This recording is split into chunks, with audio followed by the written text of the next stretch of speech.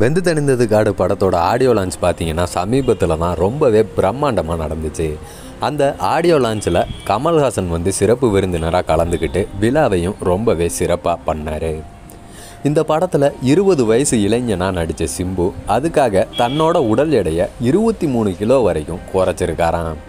இந்த தகவலை அந்த படத்தோட தயாரிப்பாளர் ஐசரி கணேஷ் வந்து தெரிவிச்சிருந்தார் அந்த ஆடியோ லான்ச்சில் மாநாடு படத்துக்காக தன்னோட உடல் எடையை குறைச்ச சிம்பு வெந்து தணிந்தது காடு படத்துக்காக மறுபடியும் இருபத்தி மூணு கிலோ வரைக்கும் குறைச்சிருக்காராம். இது ரசிகர்கள் மத்தியில் பாராட்ட பெற்று இருந்தாலும் இப்படி உடல் எடையை குறைக்கிறது உடல் நலத்துக்கு நல்லது இல்லை அப்படின்ட்டு சில ரசிகர்களோட கருத்துக்களும் வந்துக்கிட்டு தான் இருக்கு.